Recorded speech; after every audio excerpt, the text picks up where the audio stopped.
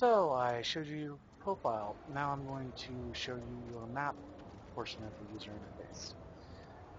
Alright, so when you hit your map key, it brings up your map. Hit M, brings up your map.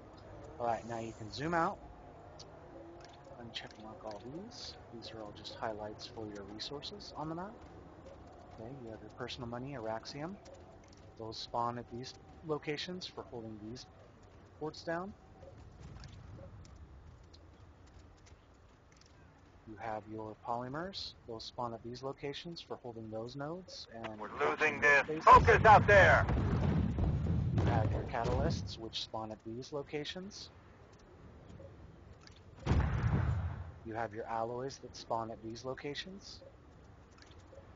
Then you have your hotspots, which you have your hotspot drop menu, where you can, on mine's available in 18 minutes, because I just used mine, you can hotspot drop into any one of these. Anytime there's any action in the place, it'll be up on the hotspots and uh, once every half hour you can jump in on those.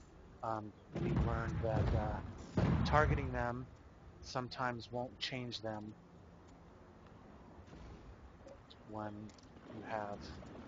There we go. It's just best to use this menu to drop into hotspots because sometimes your whole team will drop into separate hotspots and you just click. You just click on the map. So you can see your hotspots, you can see your objectives. There's no objectives right now. You can see each facility.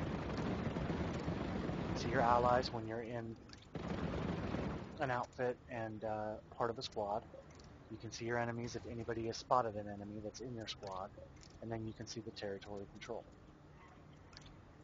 Alright, you see your population here. So it's pretty even on the server. And now you have your redeploy button that you can use to redeploy at any one of the bases if you find yourself far off in La La Land and no one is around you to help. You can just click redeploy. And uh,